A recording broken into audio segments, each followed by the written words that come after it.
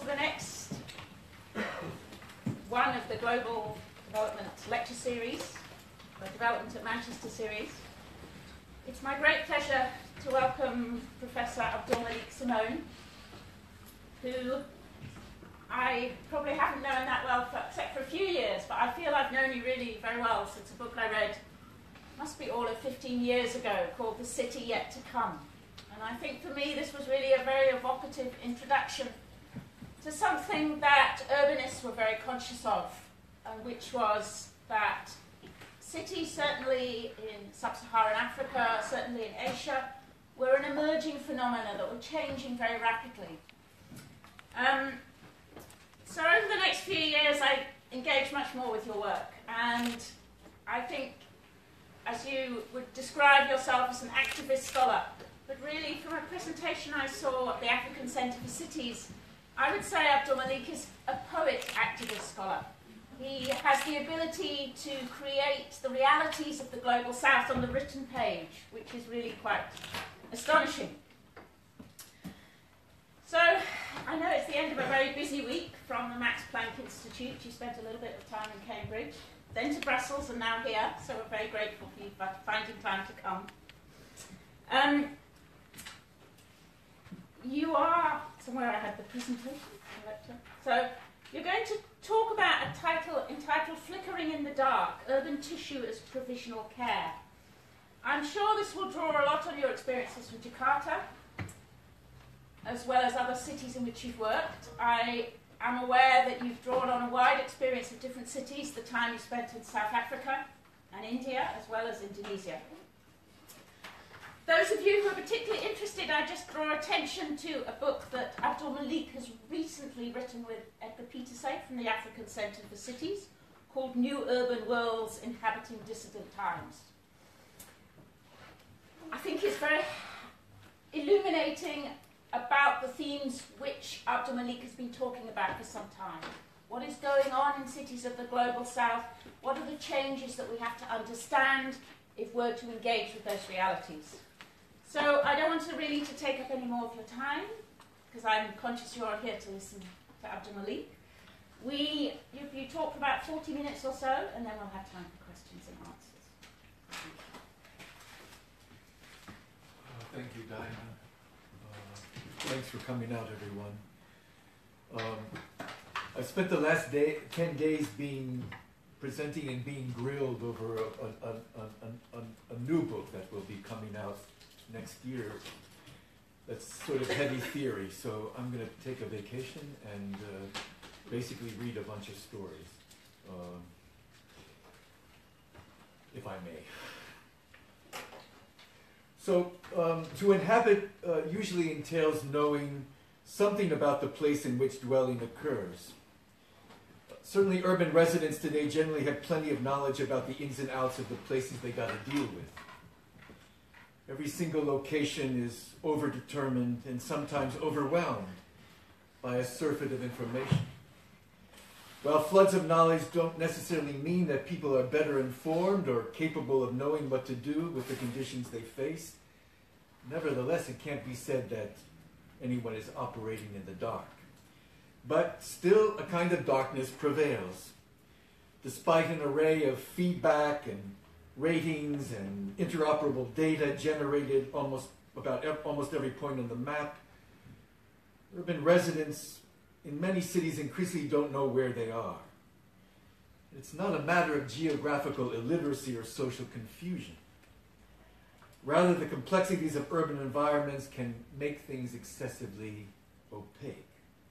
There's just too much going on and too much to know and too many factors at work in order for residents to come up with a coherent working narrative about what it is that either makes them feel the way they do or accounts for the situations they got to deal with.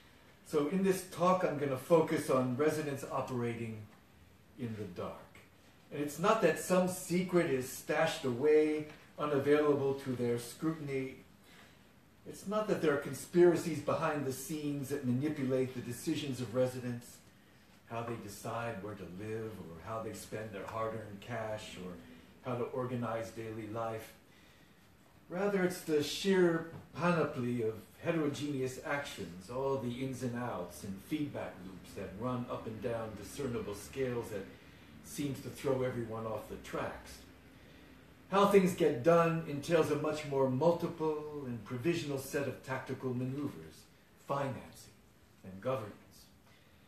While the inequities of power deepen and resources are even more skewed to the dispositions of the elite, urban areas seem to generate an increased volume of noise.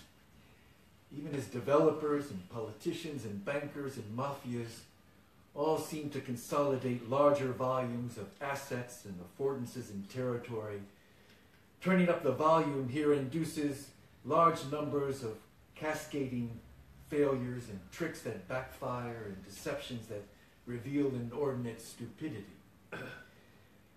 So I want to explore in this talk some of the ways in which residents of Jakarta particularly deal with this darkness. The situation where many countervailing realities seem to all be equally possible and appearing. Where the accelerated, haphazard, and brazenly opportunistic expansions of the built environment that seek to get far away from what the city was before seem to continue to and cultivate forms of care of people looking out for each other.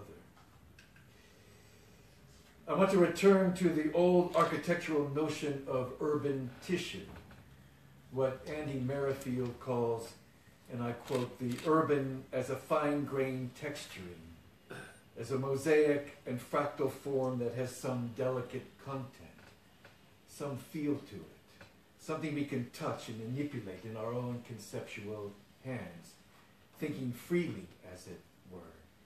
End of quote. So this tissue is the materiality of encounter among things and materials and bodies, each articulated to each other in ways that exceed the capacity to map or measure and account for their oscillating relationships. It's tissue as the push and pull of different practices of connection that simultaneously compete with and complement each other not in consensus, but in cross patterning of stitch and weave and turn taking and looking out for that Toni Morrison attributes to the quilting gatherings of women in her novel Home. Survival means covering the angles, hedging all the different ways in which things can be disrupted and changed. So, tissue is not the seamless connectivity of everything, it's rather that which enjoins different forms of speculation, of risk taking, of hedging, and shape shifting.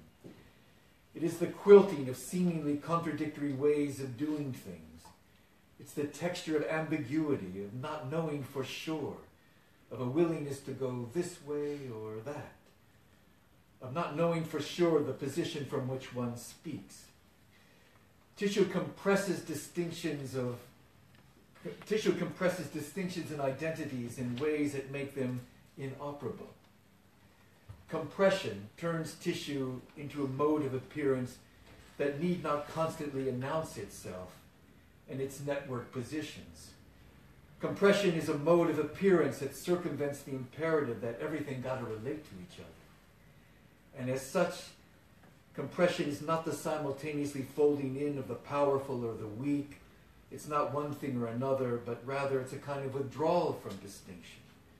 Compression becomes a kind of darkness.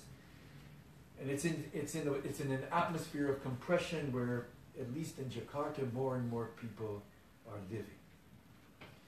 Now, I've, I've long been concerned with districts of the working poor across Africa and Asia.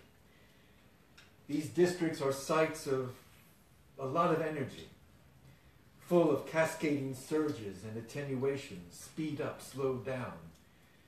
The grinding repetitiveness of labor across small factories and workshops all conceal other rhythms made up of rash experiments and investments, sudden decisions to take up different trades temporarily, retreats into different shrines, and surges of sometimes amphetamine extended work hours surprise visits, convivial exchanges get, that can't find any ready conclusion. The day in and the day out, that might be the resounding reality, but it also provides a cover for many other itineraries. The prevailing political game, while seeking to extract as much as it can or to provoke time consuming internecine disputes, doesn't know quite what to do with the power that these districts generate. Residents consumed by labor intensive struggles to make ends meet, locked into particular social formations and territorial consolidations and repeated compensations for deficient services. They don't know quite what themselves to do with their own power. But all this self generated energy that shows up in labor and leisure and devotion, it always threatens to burn itself out without new inputs, without new things coming in. And so exhaustion sets in and energy is no longer renewable. These districts exist as intricate machines of experimentation, but it's an experimentation that often don't go nowhere. And what happens when this nowhere becomes increasingly costly and deadly? Rather than acting as an incentive to completely move with the changes of the larger city. What happens when this, this experimentation fails to invigorate the willingness for residents to try things against the apparent grain or prevailing wisdom? Yet these, these districts, yet these districts, yeah. Yet an urban, an urban tissue holds in place the plurality of activities and sentiments necessary for people to operate in close proximity to each other as both sources of information and support, and also that from which one is to be distinguished, inciting individualized attempts to carve out some kind of niche. As such, it's an urban tissue that couples accountability and anonymity, traceable lines and unknowable intersections reachability and imperviousness, articulation and detachment, visibility and invisibility. There's just too much going on for anyone to exert any kind of overarching claim on controlling it, even though certain figures from headmen to Mulana to party bosses to goons, all of them loom large in people's imaginations and in delivering a territory to various connections and and electoral and symbolic projects. Political participation often takes place behind the scenes in everyday transactions that residents, contractors, and workers have with each other. Hierarchies are everywhere. A certain few walk away with the bulk of the proceeds and the district's overall productivity. But the back alleys are also replete with ebbs and flows of success and failure sudden spurts of money in uneven droughts.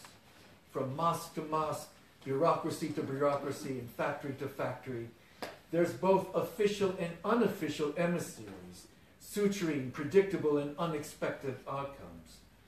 Everything shifts to the side one way or another. It is possible for residents to not get stuck. At the same time, working class districts are increasingly locked into a limited scope of maneuverability, to the reiteration of long honed practices that sustain particular levels of livelihood and complexions of sociality. These are unable to provide platforms for great leaps, for trajectories of progressive or radical transformation that enable residents to shape the larger urban context in ways that provide for enhanced justice and opportunity. Clearly, residents of these working class districts often seek a different kind of life, characterized by both greater consumption and less arduous working hours. Perhaps more important is their desire for exposure and access to a wider set of experiences, experiences that don't judge them for any relative ineptness, that allow them to put their stamp on things. Yet, the complex entanglements among household composition, entrepreneurial networks, financial reciprocities and dependencies, the dense fabric of everyday living arrangements, the profusion of tipping points, the multiplicity of risks and impulsive maneuvers, the intensive scrutiny of individual behavior, coupled with the indifference largely shown to individualized needs, all of these things, the entanglement of all these things, provides a thick fabric that's difficult to alter and reweave. Residents are constantly doing something but are increasingly unsure about what that something is, what it means, and what value it has. Yet the repetition of all this provides some semblance of stability. It's not necessarily a precarious life. The situation residents possess is usually felt to be all right, is okay. But it also constantly renders the limit of what it can be and what it can turn into. The attainment of stability just this side of precarity then becomes both security and trap. And because it's both security and trap, a, certainly, a certain ambivalence prevails in the ways that some urban residents think about their life, think about their situations, and think about their prospects. Without the distance of perspective, it's not clear just how they should anticipate how, how they should anticipate or plan, what they think is possible or viable. What is familiar and relied upon often insist upon showing up in strange ways. How then do residents endure such a situation? And then, so then, the, in, the, in, the, in this, the next part, I want to talk about then some examples of what I call the rhythms of endurance, where endurance is, is not a program, it's not a policy, it's not a, it's not a thing, it's, it's a rhythm, a rhythm of oscillations, of start and stop, of different kinds of ways of paying attention to things, of dealing with, deal with each other. So I'm going to talk, talk about two, two booties, the story of two booties. The booty call. Booty and I sit, Booty and I sit on a large makeshift sofa he has constructed along a small creek that runs alongside the shack he constructed nearly 30 years ago. Just on the other side are the concrete fortifications that prop up Bassura City, a recently complete, completed mega complex intended for 30,000 residents with nine massive tower blocks. The Prumpung neighborhood where Booty lives is a warren of tiny lanes and courtyards, packed with mostly two to three story self built houses of very legal standing and durability. It's the site of a well known market, and given its proximity to the urban core and to several major thoroughfares, is also packed with short term residents, short term renters, as residents have subdivided their places into hundreds of boarding houses. The density is such that, with the exception of the improvised courtyards that have been designed as small communal spaces and playgrounds, the sun rarely penetrates. This lends an atmosphere of foreboding to what is otherwise highly convivial public demeanors which in turn mask the undercurrents of all kinds of illicit economies, long practiced with both a sense of community pride and dissimulation. This is an area where goods fall off the trucks, where police lieutenants gamble deep into the night, where crystal meth is packaged as a brand of popular candy and shipped to the middle class suburbs. It's an area where small time local wholesalers know how to speak to farmers in the near periphery and thus sell some of the freshest and cheapest produce in the city. This is an area where the original long term inhabitants carve up their holdings in such a way as to make it nearly impossible to tell for sure to whom precisely any given piece of land belongs, thus warding off many prior attempts on the part of the big players to try and seize control of anything that takes place within it. The city's most infinite secret detention center is located in the district, with its cells ranging in quality from those similar to luxury hotels to snake pits, with its many renowned inmates needing to pursue the businesses that landed them there in the first place, all of which provide sources of local employment. Booty and I sit and enjoy the cool breeze that runs along the fetid waters and the garbage strewn embankment below and try to talk about all these things in the classic roundabout pretend not to know anything, but of course we all know that you do, Jakarta style. His level of involvement in neighborhood affairs need not be addressed directly, as he makes this clear through the way in which he summarizes the key events in his life. He hasn't had a regular job in 17 years, not since the Indo-Chinese warehouse he used to work at closed in nearby Pondok Bambu. A closure prompted not only by the death of the owner, but in the mysterious disappearance of half of the stock. Booty's shack, a squat one, one story box of found wood and a tin roof sitting illegally on the creek's shore, had barely been altered on the outside since he built it decades ago. Although the interior demanded a great deal of repair due to the frequent floods, but also reflected the capacity to consume the latest appliances and electronics, powered through pirate connections. His wife had passed two years ago, and together they had raised 11 children there, seven of them now living elsewhere, and all of the kids he had put through some kind of university education. It turns out that this perpetually makeshift residence on land he never pays anything for, and on which he rents out some small space, space for neighbors to park their motorbikes, is not his only option.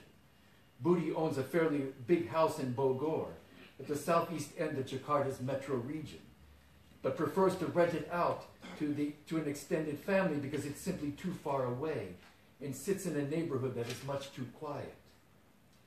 Quiet in Prumpung is a sign of alarm, a sign that something has gone wrong, that there's been some kind of interruption in the flow of traffic, in the circulation of information, the connections between one game and another, between all of the efforts of local residents to make ends meet, to make the ends of whatever they're involved in with meet somewhere, not in a process of mutual implication, but simply as the quilting of one big safety net that doesn't leave anything and anyone hanging. Even though they are long the minority of residents here, the still predominant culture of the Betawi, as the, in, in, as the original inhabitants are known, don't like to be seen running and chasing after every crumb. It's important to not come off looking desperate like rats scurrying about, but instead to sit back, enjoy the breeze, smoke a cigarette and eat a mango, look like you're barely doing nothing. While we are sitting, Booty is frequently approached and beckoned for some seemingly small task or another, most of which he dismisses. After a bit, when I ask him if I'm, if I'm keeping him from doing something, he indicates that those who have all sought something from him during the past half hour or so inevitably would have run into each other anyway, and that simply by doing so would bring a fresh perspective to whatever they felt needed to be done at the time. This would be as much that Booty would explicitly say about neighborhood business.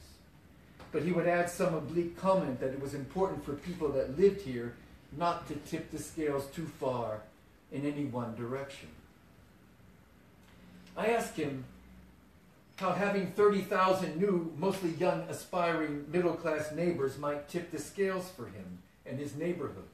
After all, particularly for the residents in the towers overlooking this neighborhood, the visage of a, of a serious slum could not be that reassuring.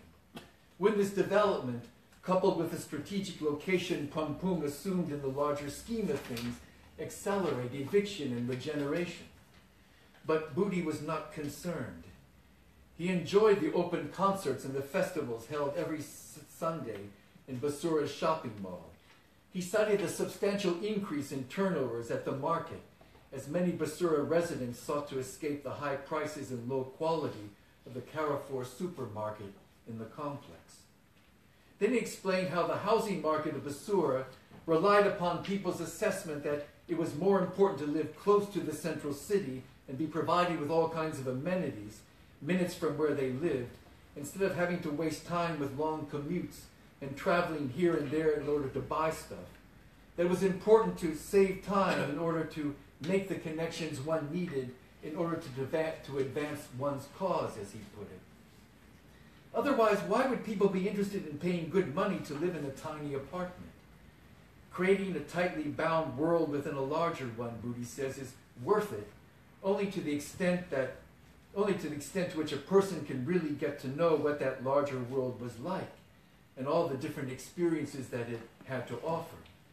He knew that cramming in a family of 11 kids into a makeshift shaft didn't make it easy for anyone. Time and scheduling things, even for sleep, had to be fine grained, intricately managed. Booty said that his wife would often complain about why they didn't just simply go and live in that bigger house in Bogor. But Booty said, but Booty said this was just exasperation and never a serious proposal. They endured these conditions not as a challenge to their sense of self worth, or because these conditions were antithetical to what they felt they deserved in life, but rather because these conditions just happened to be the byproduct of their wanting to live with the city and all that it offered as, in as full a way as possible. Booty's reluctance to talk about neighborhood business, while a reiteration of Indonesian manners, was also due, I think, to his sense that it would be nearly impossible to have anything really meaningful to say about what this business was anyway. He mentioned several times that residents simply didn't stand by passively and watch what was happening to them. It wasn't that they were not interested in finding ways to collectively, collectively improve the local conditions. It wasn't that they weren't interested in making their tenancy and environment more secure. It wasn't that they were that they, they, they were it wasn't that they were invested in hiding some cachet of secrets. Rather, the whole reason for living in Pung, the whole reason for the kind of economic activities and games they were involved with, and all the brokerage and wheeling and dealing and risk taking, was in order to piece together an expansive space of maneuver in, access to, and engagement with the densities of intersections that seem to inhere in urban life. These densities were not imagined as a specific destination or a trajectory of development. For in Prumpung, in many respects, the densities came to it, ran through it as part of some larger circulatory system. Yeah, okay, sometimes the police had to be paid too much. Sometimes the floodwaters ravaged hard earned consumption. Sometimes it cost too much to do things off the books than on the books. Life was hard and hard won. But there was little sentiment on the part of residents to put too much of whatever they earned into a single objective. Prumpung was a place on standby, not as a concession to some larger determinant power from which they were awaiting final adjudication for their fate, but rather as a willingness to follow how making ends meet might play out as particular actors and places and practices and resources and specializations were brought together in a disposition that might be hard to calculate in advance, a willing to give this process its due, but to not make an inordinate commitment to it, to bail out if quickly it was required. This approach to endurance is what Booty indicated was the difference between his side of the creek and the other. He says, We have found a way for things to come, come to us. After all, here you are, sitting on this sofa next to me. Over there, they got their security guards, their access cards, all kinds of rules about who comes and goes. Yet the entire project was built on land of uncertain legal status. They have all of this security and money, but perhaps in the long run they're no more secure than we are here. But what we have here, it's hard to put your finger on exactly. So many things are pressed so tightly against each other that it's hard to tell what is what. But when you walk around, even though you know these people all your life, every day makes them somewhat different than what they were before. Somehow they may seem to be waiting for something different to happen. And the thing is, is that it does. Maybe not in ways that you can always say clearly, but they seem to know that they are touching a nerve somewhere, that something gets rerouted through this place in a way that was not intended. Just like God Himself never intended to get involved in much of the business He ended up having to deal with anyway. End of quote. I sit with Booty, another Booty, in one of the makeshift bars and brothels that line the elevated train track just behind the Islamic University of Al Qaeda Hashemite in Matraman. Booty has run this bar for nearly 25 years, and for which he provides services primarily for truckers who ply the nearby Jatinegara market and its associated gem, bird, and flower markets, as well as the major pharmaceutical market at Pramuka. It is late afternoon, and it will be hours before anyone bothers to set up shop, start cooking, or lining up the beers. The strip is hidden in plain sight, barely detectable from ground level, but everyone in the surrounding neighborhoods knows that it's there. While subject to periodic cleanup campaign, these amount to merely ritualistic shakedowns, where once the sex workers were consigned to filthy rooms in the back of bars, they now more frequently live in the areas underneath the rails in small but well functioning houses that they have largely built themselves. Much of the urban fabric in this area has been reworked to accommodate big roads and large commercial buildings, but these ancient markets persist given the popularity and affordability of their products. The area has long been a breeding ground for tough operators, a reputation that goes back to the days when the Dutch attempted to pacify it as a center of enduring militancy by building their own residential compounds here. Like the markets themselves, with their down and in the dirt quality, with an infrastructure sagging and heaving from all the weight of commerce and indifference to repair. The bars along the railway haven't changed much either in their physical character or modes of operation even as Budi points in every direction to the signs of encroachment. New mega housing developments, shopping malls, flyovers, and commercial buildings. He designates this area of Matraman Jatinegara as the heart of the city, with its history of Arab settlements and institutions, its gang wars and army encampments, its early rollout of middle class living next to working class districts who hadn't bothered to refurbish set buildings over a century old.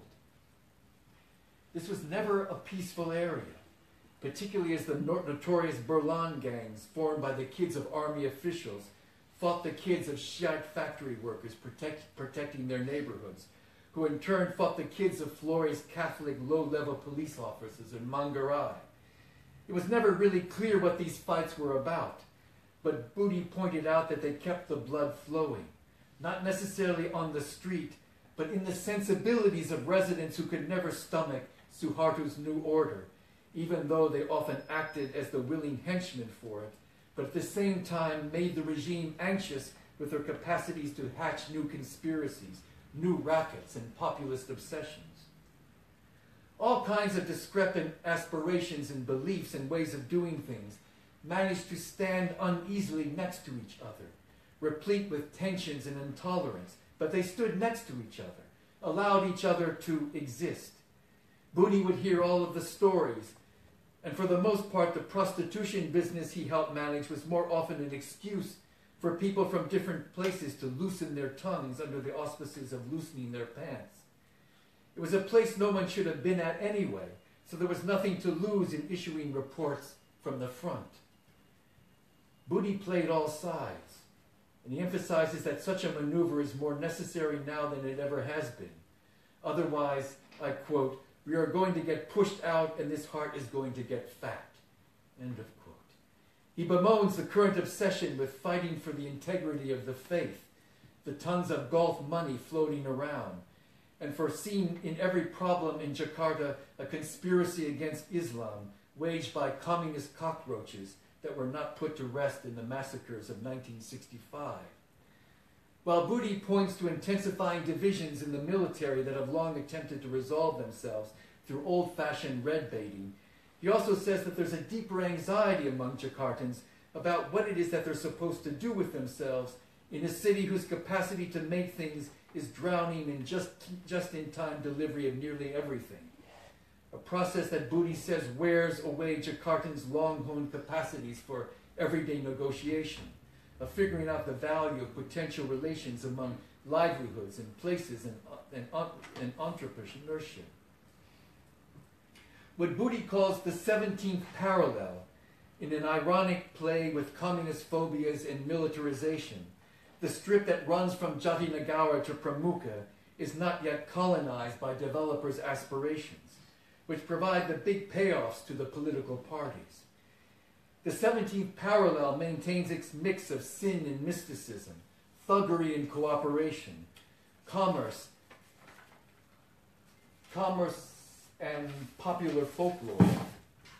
The strip of bars along the rails is situated so that the management can see what's coming from all sides, a skill that was put to use for much more than running a sex business. For from here one can see the 17th parallel up and down, all the way from the trade in fake drugs to fake gems with a lot of real stuff in between. Deep into the night, the bars with their cheap lanterns and dangdut music still cater to a variety of tastes. But Budi cares less about being a barman than some kind of guerrilla operative, as he huddles over maps with a coterie of young men, pointing out just who should be informed that some stall owners in the bird market are being harassed by vigilantes organized by a distant mosque, of who in the local authority should be bribed, and how much to stop a planning application going through for a new petrol station around the corner, about which journalist should receive the cell phone made movie of a local political hack assaulting the daughter of a friend who refused to sell his share in an informal parking lot that the hack wanted to sell for an upscale apartment block. Budi's not going to stand by and let all the grandsons and granddaughters of the street toughs and teachers, the dealers and healers that made this strip be pushed from the heart of the city. Demilitarized or not, for Budi, the 17th parallel is about the proximity of having many sides. Here there is no reunification, no putting everything in the same box. It's not that the heart of the city is fixed in one spot. It's not that it can be transplanted, transplanted somewhere else in order to survive. Budi says people can make what they can out of anywhere they might find themselves. He says, rather, this place here, again pointing to the line that runs from Jatinegara to Pramuka, can't endure without it. Between now and 2021, 750,000 units of so called affordable housing are scheduled to appear across Jakarta.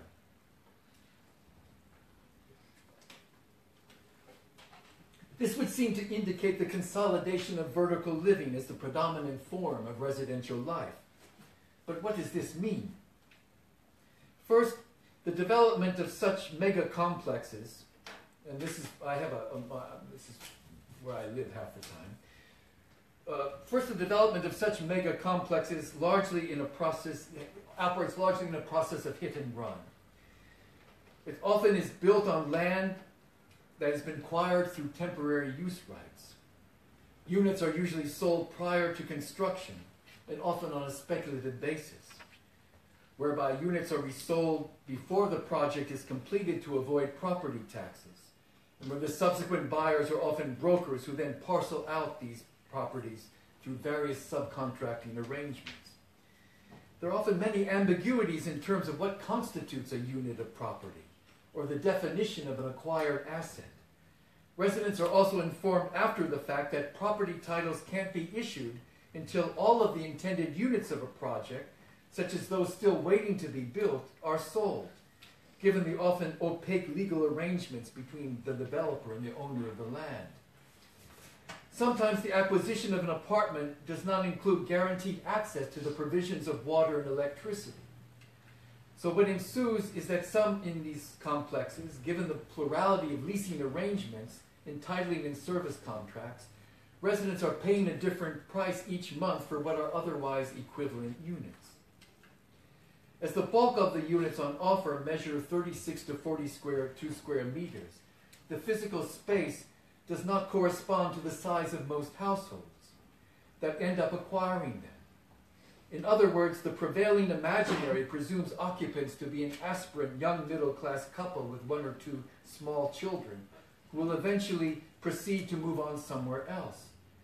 But as these types of unit are rapidly becoming the new norm, it's difficult to foresee exactly what that somewhere else might be. I mean, it's just, it's just not really a somewhere else. Um, as mortgage systems are limited in, in Jakarta, acquisition entails a broad mobilization of finance. So, what kind of money is brought to bear in terms of acquiring this stuff? Well, there's complex reciprocal borrowing arrangements among families and extended kin. There's profits from collectively generated economic activities in savings groups. There's the diversion of laundering illicitly obtained money. There's advances on rental agreements from other properties. There's property swaps or amenity packages for employees. The sheer plurality of finance applied to the acquisition of units also translates in a heterogeneity of residential compositions. Sometimes residents related through various neighborhood, institutional, or work connections will acquire, acquire entire floors in these buildings. While most buildings are prefabricated, limiting the physical adjustments that can be made, floor, floors are indeed remade within these constraints to accommodate extend, extended families. So in some instances, you have, you have extended families that live on, have acquired an entire floor of these buildings and basically live a kind of neighborhood life within, within this sort of vertical situation. What often ensues is the agglomeration of social differences that not only mirror the compositions of the old popular working class neighborhoods, but at times attain a heterogeneity that exceed them. Given that the new environments are not contingent upon residents working out a wide range of both everyday residential and economic activities with each other, an atm- atmosphere of anonymity prevails, re- reinforced by the sheer number of residents involved. Yet at the same time, this atmosphere of anonymity doesn't necessarily lessen opportunities for residents to pay attention to each other, to take note of each other, and to work out allocations of niche spaces and the recalibration of floors and buildings to accommodate specific clusters of interest and identities. So you have, you know, you have different kinds of niche markets within these buildings. You have queer floors, you have super Muslim floors, you have young professional floors, you have all kinds of floors that in some ways live next to each other, but yet maintain themselves in somewhat separate worlds, but nonetheless continue to pay attention to each other watch each other, but don't necessarily feel that they have to necessarily deal with each other. So th- this, this, this example of Kalibata City, it's a standard outlay of 18 towers, high-rise towers, 3,000 units, a population of nearly 30,000 people. On the surface, there's almost nothing to distinguish the housing complex from the hundreds of other so-called affordable housing developments across Southeast Asia. Unlike many other similar developments, however, there's been some attempt to landscape the ground level with scores of small shops and restaurants and coffee houses and public spaces, all of which provide opportunities for residents and outsiders to attain a sense of just how heterogeneous the makeup of this complex actually is. Part of this heterogeneity can be attributed to Kalibata's central location and proximity to a major commuter train line which given Jakarta's massive traffic problems is a key factor in the population's decisions about where to locate themselves. Even though the complex is really is only five years old, with most of the units having been sold before completion, it's subject to scores of varying subcontracting arrangements and layering of use rights, multiple forms of ownership, and internal local governance systems. That is, Kalibata compresses a wide range of financial mobilizations that again draw upon individual and collective savings, speculation, lateral borrowing networks, remuneration for work, favors, money laundering, the pooled assets of many different kinds of associations, and barter. Where, for example, that sometimes land is land at other locations is exchanged for apartments. And sometimes apartments are exchanged for jobs and jobs exchanged for apartments mean, there's all kinds of different, all kinds of different financial deals at, at, at work here. So in some ways, Kalibata City is a place that enables actors to write themselves into whatever is happening. A place where different actors can recognize something of themselves wherever they look at it. Its residential base is perhaps exemplary of a sense of the many that one can find in Jakarta where people of different incomes, religious and sexual ident- identifications, and age, age groups largely live without conflict and close proximity to each other. Something that you sometimes increasingly can't find in other parts of the, of, of the city. Even as particular kinds of identities may be consolidated with, within specific buildings, and that those identities progressively colonize specific blocks, the ways in which the character of public spaces across the complex change during the course of the day points to the proliferation of niches and differential intersections of all kinds. So you might, might have one coffee house that between 8 and 9 in the morning is you know, a group of, of women who don't work playing cards. Then later on it becomes a meeting point for activists. Then it becomes a meeting point for African migrants who watch soccer games. Then it becomes, I mean, it just changes, the, the one place changes uh, its composition many times during the course of one day.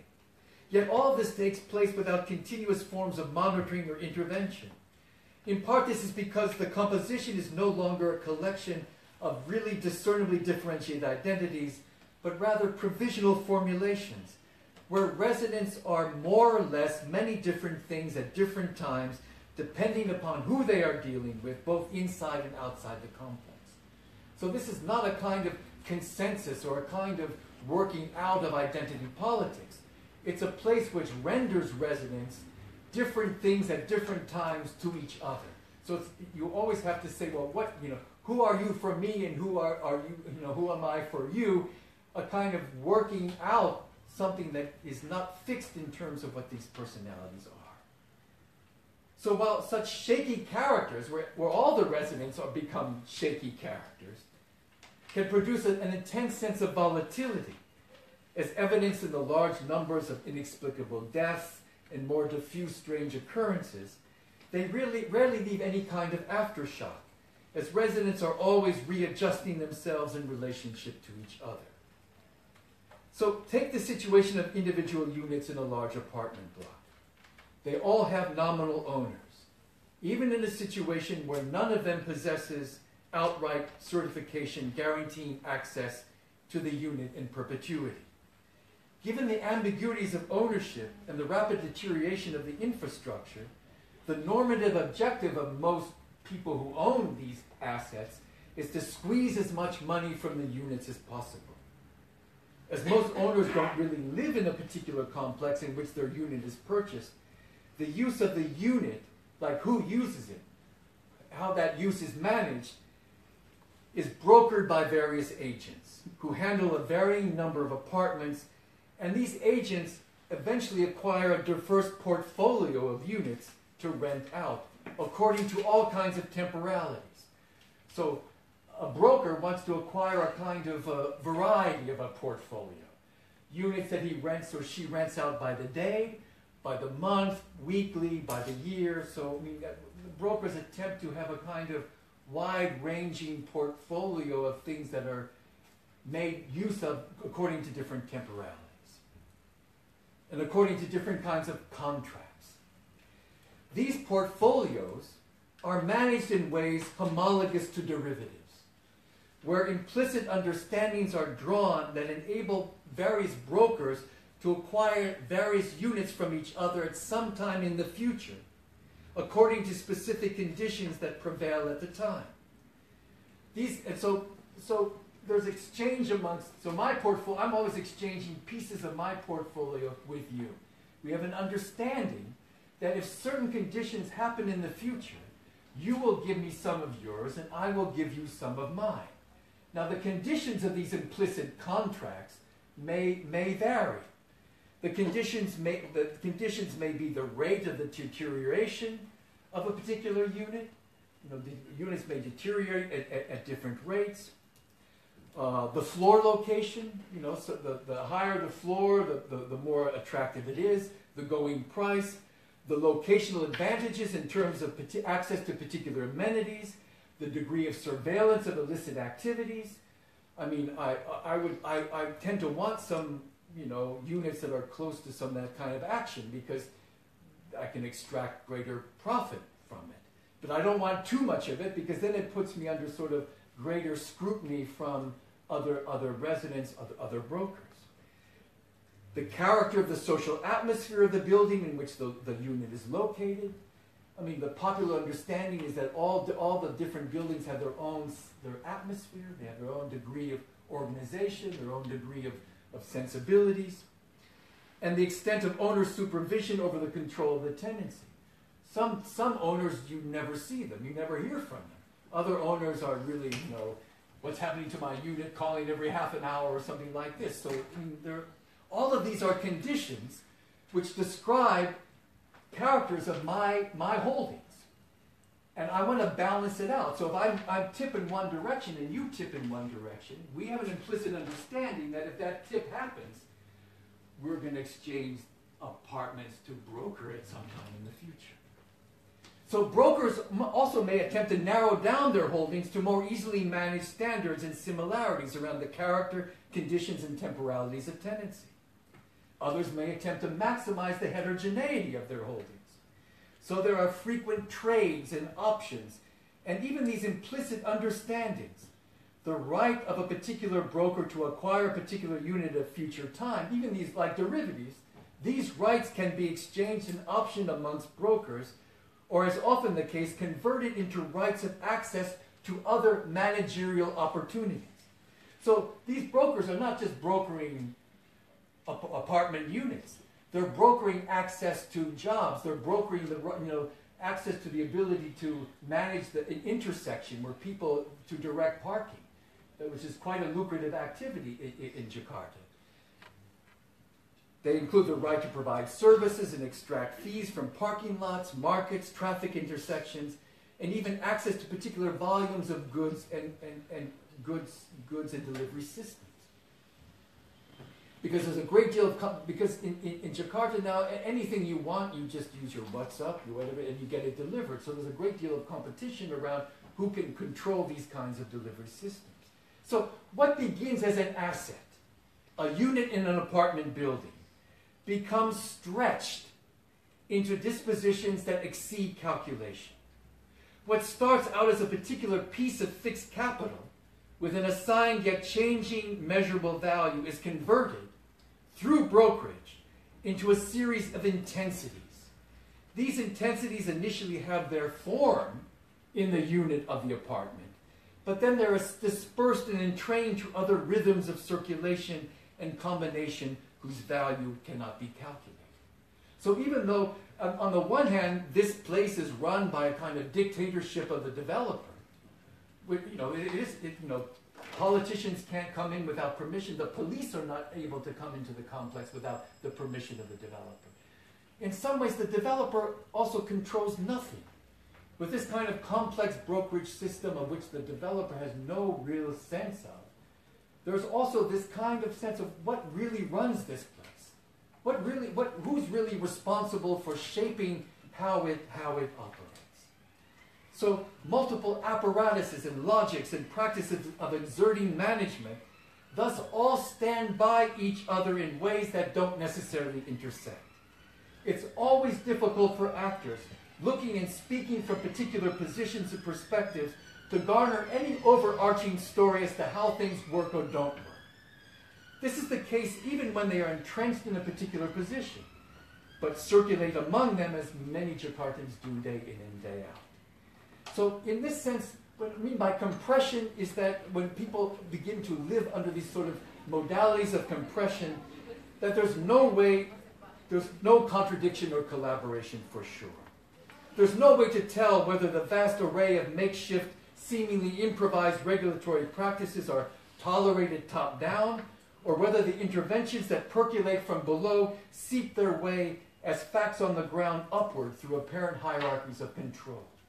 It's almost impossible to tell, for example, how these networks of brokers acquire hundreds of units in a given complex, whether the, these brokers are really working together or not or whether the subsequent territories of distinct complexions and trades, from drug dealing to food delivery to prostitution to the formation of Islamic associations to the consolidation of queer friendly buildings.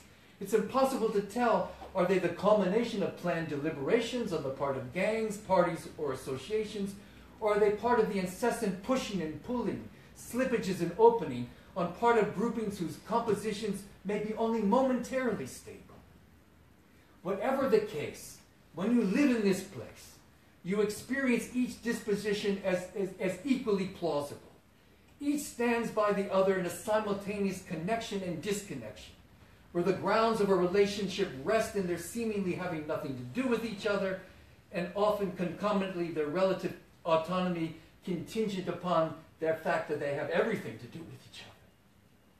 So, in some ways, what I'm, what, what I'm trying to, to tell from these stories is the sense that the values of freedom and equality, the values of, of, of empowerment and inclusion, may still be values. But the format of which we understand and recognize these values perhaps can no longer take place in the kinds of language and tropes that we've relied on in the past. That we have, we can continue to value these things, but the forms by which we recognize them, the forms by which we implement them, may lo- no longer be applicable. Within a kind of atmosphere, an urban atmosphere that has this sort of intensive compression of many different. So we might have to think about new modalities, new ways of appearing that t- attempt to embody those things that are important, uh, are important to us. So here, disposition, dis- dispossession, that we have to dispossess ourselves of certain ideas that we have about what freedom and what equality might be. Here, dispossession becomes something else than simply eviction, indebtedness, or the absence of entitlement. Rather, dispossession is always enfolded in the efforts to make some form of strange commonality. Yet these expenditures that risk this disposition these proximities, these feeling out of attachments, the working of the conditions to coexist, the obligations to both extend and be indifferent to one another, and to continuously invent new terms for both collaboration that need not look like it actually takes place. These things, perhaps, are the grounds of urban social life. Thank you very much.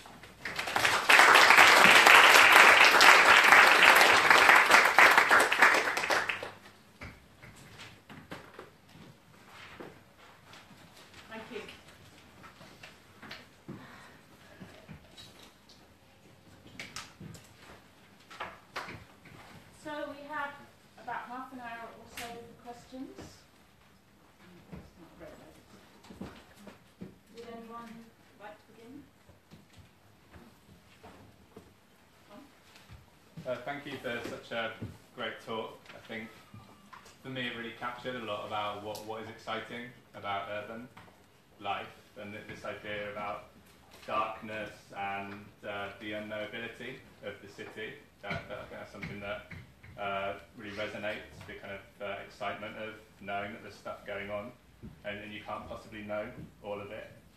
But if, if, if we kind of recognise this darkness and this unknowability, uh, I'd, I'd, just be interested to know a bit more about your your methods and how you go about finding patterns in the darkness.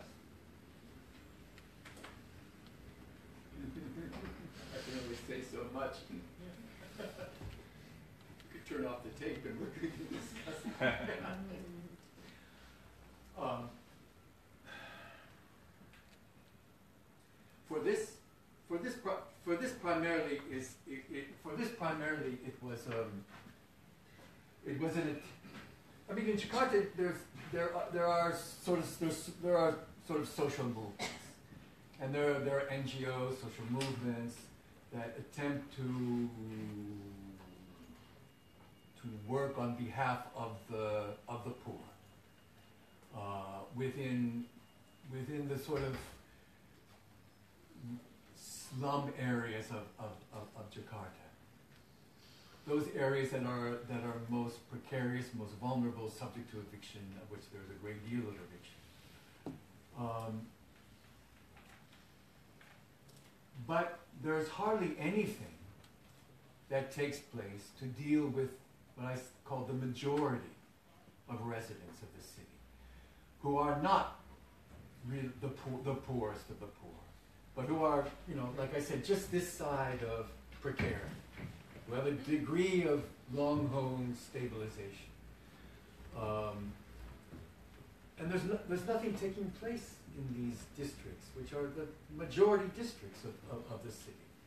So part of this is a process of trying to figure out footholds in terms of how to think through new forms of, of local governance, different forms of activism. Um, so it comes from this this attempt to so local government within this situation is I mean, the only thing, the only part of municipal government that is elected is the governor and the, the, the sort of, they call the village leaders of, you know, fifty households or. And then they, they inserted at a district level, um, what they call a kind of village committee. And they didn't have much money, they didn't have much money at all. They had some, a small capital budget, but it was to, it was to sort of demonstrate that you're gonna have, you can have local democracy at that kind of level. But they had no power, really no money. But they were there and there were, there was very little for them to do. So, over the course of a year, we negotiated somewhere that they could do stuff. And what they were to do was to, in some ways, begin to try to develop different kinds of narratives about what took place in these districts. Like, what's, what, what, what's the economy? What's, like, what are, what's, what's the sort of stories that are part of this area? Who are they? What are they doing? What are they? And, and so it's part of that, like working with groups of residents who constitute themselves on these village committees and working with them to try to just accumulate stories of all kinds. Uh, Particularly from people who seem to have networks, people who seem to be somewhat influential, but influential in what way? That that- that would be people gravitating around them, you know?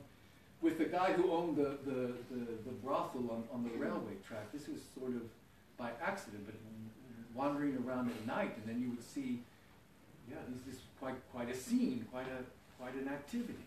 And not just about the sex trade, but people would come and gather there. And, I mean, it was a place you could drink, sort of, you can't really find a lot of places to drink in Jakarta, and, but th- this place became a kind of, sort of operational node, you see. So it's, it's, it's, it's, it's informed by this kind of attempt to, how do you, how do you, how do you, I mean, not that I don't, not that I don't consider sort of work and advocacy with the poorest of the poor and those most vulnerable to not be important. But it's what every, everyone seems to gravitate to. And what, and then what, what happens is that a whole bunch of other situations and areas and people are, are left out. And, and, and these are the, oftentimes the swing vote. These are also oftentimes the people who, yeah, are, are important in determining where a particular city goes. I have a question that kind of follows up from what you just said. So maybe I should ask mine and then we'll open back up again. And I guess it, on the one, the, the picture you paint to me is a picture of both hope and despair. It's almost kind of hope in the sense that you have perhaps something that is not gentrification, with these different classes finding opportunities to advance and living alongside each other. So on the one hand, potentially you're drawing a picture of a city which development has taken place without the levels of exclusion and expulsion. But at the other hand, you have a city in which people are becoming potentially quite atomised. You just spoke about the fact there may not be ways to connect them politically. They may be living on different floors and be quite segregated from each other. So I'd be anxious, I'd be interested in you expanding on, on that particularly. Yeah, but I just, I, I, you know, it, it's, for me, it's just the way it is. I- I mean, I, as, as soon as, as soon as we sort of think about like hope and despair in it, it, it then, then that sort of clouds, for me, it clouds sort of trying to see what it, to see what it is. I don't like, I mean, there's too, there's too much of like, there's too much of this thing like, okay, uh, this is interesting, but these people are living in shit, or this is interesting, but there's so these like such large levels of inequality. There's always the but. Like, what would happen if you take out the but? I mean, but eventually you're gonna have to put it back in. I'm not saying that you never you never put it back in, but but how do you, how do you sort of live with just momentarily the no the no the no but? And that becomes an ethical problem sometimes, because then what you're doing is you're sort of conceding that yes, sort of violence is normative, manipulation is normative, toxicity is normative in some way. Um, but I think that somehow it's important to do that momentarily. Um, I don't know for how long, but for, because in some ways this is what this is what this is this is what it is, and we're I, I, it's yeah. Okay. Questions, please. Did you find people that were carving out opportunities between the dense streets and density of these new apartments? What type of like opportunities do they create between the street and these more atomized units? Well, that's what that's what Budi was talking about when he said like, oh, these people, you know, these people who are living there, what what do they have on offer? They, you know, like all these all these building, all these complexes have shopping malls, you know, these shopping malls, and then they usually have like a Carrefour in the basement or Giant or something like that. And uh, you know, and they're really awful. I mean, overpriced. They don't. So you know, if you're willing to leave that complex, walk out and walk 15 minutes, you have a huge market with, you know, goods coming in from the per- periphery and, and at half the price. So according to him, he, he says it's, it's, it's, it's, it's selling more than it's ever sold, it's sold before. Because it addresses a kind of middle, middle class consumption, always to keep the, keep the, keep the price down. So that's a kind of that's a kind of proximity. That's a kind of prox- proximity that, that works. In another in, in another place that I know of, Green, called Green Pramuka, which is a little more harrowing than Kalibata. It's less less social, more it's more in the middle of nowhere. But the, the surrounding areas that have been, it used to be a kind of um, uh, fabrication for tiles and bathroom fixtures and and then that sort of went down, went somewhere else. But when the Green Pramuka came there, then then it sort of was revitalized because people needed a place to do sort of economic stuff. So there was like investment in new workshops and small little fabrication places. So all of those things that were then abandoned got reoccupied, in part to also produce locally because that, that place you know had almost forty thousand residents, um, and so there are there are there are there are instances of of of, of, of, of multiplier multiplier effects that that but they rely upon very sort of adept brokerage too to make to make them happen. Sometimes that brokerage is a little yeah.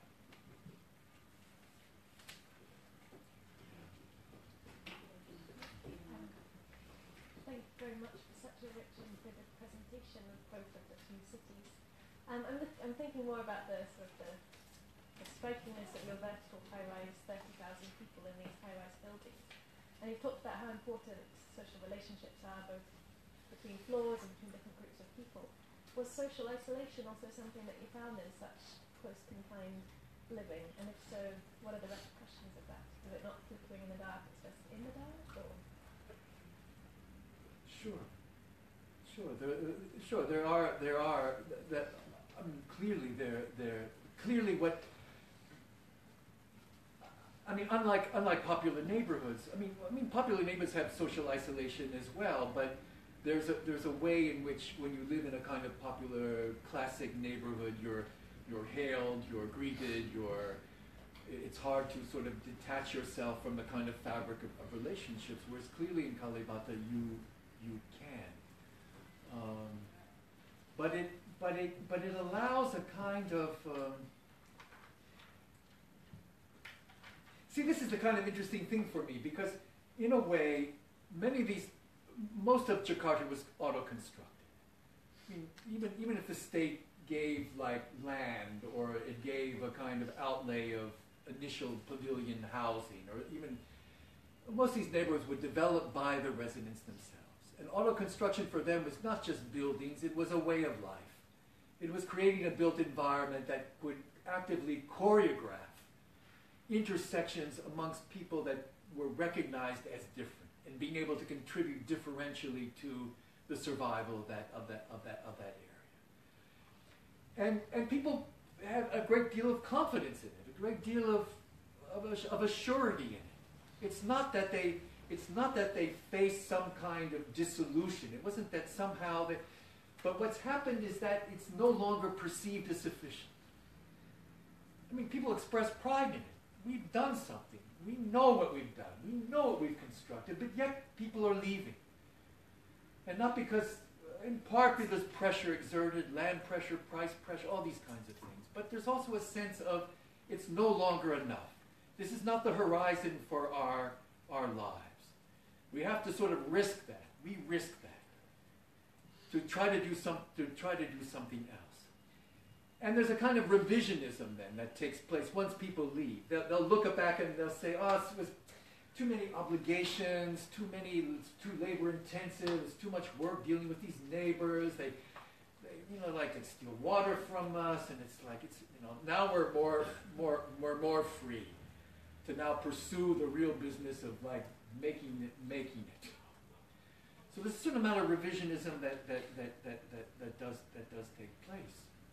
But in but people also really realize in Kalibata there's no way they can go it alone.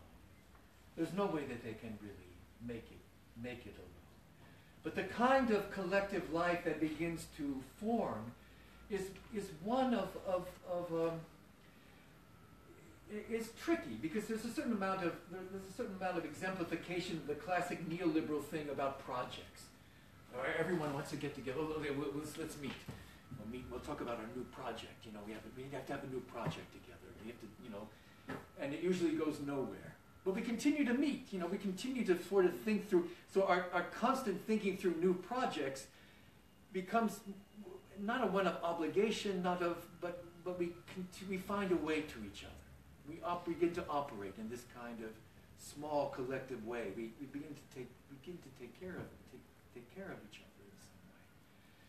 And of course, there there the, there are each building has its own uh, WhatsApp groups, uh, which of which there. I mean, in my building, there there's literally some like hundreds of messages every day.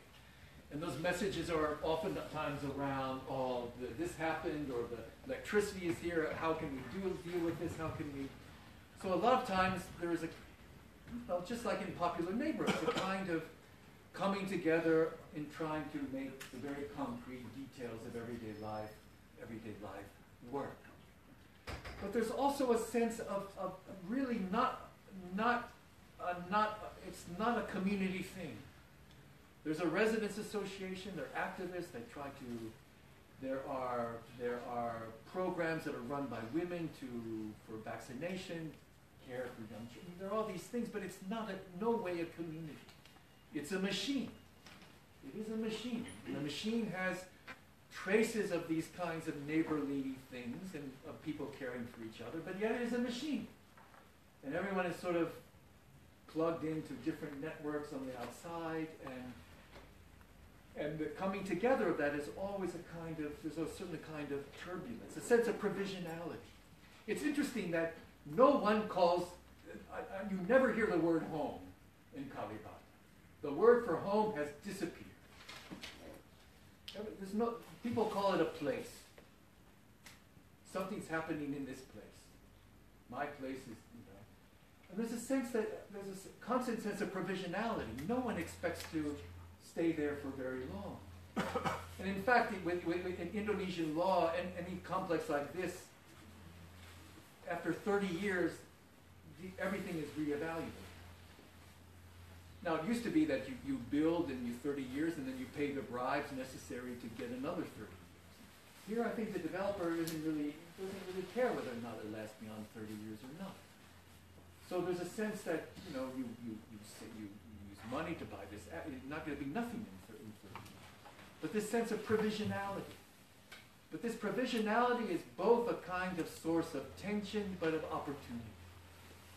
And the opportunity is not just simply kind of individualistic self-accumulation, let get ahead by myself, but it is to a certain extent an opportunity to choreograph collective operations which somehow make sense. Okay, Kevin, you. Oh, yeah. Sorry, I was drifting for a moment. That was very good. Um, I guess I was interested in um, the edges of the story you were telling, in the sense of um, I wondered if there was a Budi or many Budi equivalents uh, of the developer or the financial aspect to it, and whether how their stories and their modes of calculations and rationalities figure in the sorts of things you were mentioning, and whether there's something more you can say about that aspect to the stories you were telling us. Yeah, the developers are, are uh, uh, the developers assume very powerful positions within Indonesian politics and society. Uh, developers fund the political game, period. They're the most important source of funding for a political competition. Uh, they basically largely can do what they what they what they want. Um, but you see, then who's a developer, who's Yeah. not a developer? You see, there are, and, and, and what I know, this is how I know what I know. That is, if you have any urban development training in Indonesia, and you and you want a formal job, and if you get a formal job, which is a big if, if you get a formal job, seven times out of ten you'll work for the developer. That's that's the. So over ten years, many of the students I've taught are working in with developers. But they have a kind of group, they have a WhatsApp group. They meet every two weeks to talk about what what what they feel happens in inside. So there are about 20 key developers in that. But there are thousands of other developers who may put together one or two things. You know, it's like who's a developer and who's not. But amongst the big players, what they describe is uh, in, that even though they have this kind of a surety of their of their position politically, uh, they they generate a lot of money. Uh, most of them have land banked things for the past three decades. Land acquisition not really a big problem for them sometimes. They pay well to acquire land in, in choice locations. They give good compensation, usually cooperation with existing residents. You know, new house, someone else, car, two, two color TVs. It's not that they have a great deal of difficulty in piecing together land. But what, but, but what, my, what my ex-students talk about is an incessant anxiety on their part. They're, they're always anxious about what's, about what's, what's going on. A couple students of mine, they, uh, their job is simply to work with different kinds of software. You know, these kinds of locational software that manage things according to 100 different variables. What's the best location in terms of affordability, close to employment, all these kinds of, that's all they do. And they do that. But the developers never take it, they, they make them do this, but the developers never take it seriously. The developers will go to some, some kind of mystical, you know, backdoor thing in some cheap hotel, consult a mist, because they're so uncertain as to what, what, what, what, what's take, to take place. They don't, and, and many of them describe that the developers, even though legally and financially, they can exert total control over the interior operations of the things that they build. They constantly feel that they're out of control. They constantly feel caught by their dependence upon generating the money that they, which requires, um, like the, what I described, all these systems of brokerage which they have, they lose, lose sense of. So it's a kind of double position. They have absolute power, but that power, that vantage point almost, cultivates a kind of incessant anxiety, a kind of sense of vulnerability, which they're never quite sure of. So, yeah, so the, the part of the discussion amongst these group of students, about 70 of, of of them, is always about what kind of small things can we do to, to mess up the system? what kind of little things can we do to sort of defer things or to keep things, you know, not that that's a politics anyway, but it's, but it's, that's the sort of Yeah. thing. Okay, thanks. Okay, we have one more question, and then maybe we should. Uh, Okay, thanks so much. Um, I really like this idea of the urban tissue, just this kind of intensive weaving or quilting together of things and bodies and materials. And um, I was thinking that in the, the, the two examples you gave of the Budi, this was kind of really, this, this kind of, um, as well as the intensely kind of social and economic processes you were describing, it was also very material. And I was wondering if in these tablets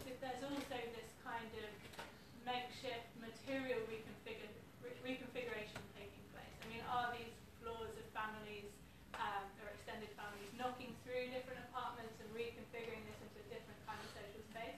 Or is the urban tissue something that's much more um, immaterial and invisible in terms of these social and economic trends? Yeah, I mean, they, they, they try to a limited extent. I mean, since these are prefab constructions, there are certain limit constraints onto how much you can sort of re, re, re, rearrange. But it's more, it's more, it's more in terms of colonizing particular passageways. It's a kind of a sense of, of, of contiguity. You, you, you have a line of different apartments so that in some ways the use of particular individual spaces can be reconfigured. So one unit may just simply become a kind of cooking space for three, three units. Or one unit will become a kind of place for the kids of multiple families to stay. This is the kids' area.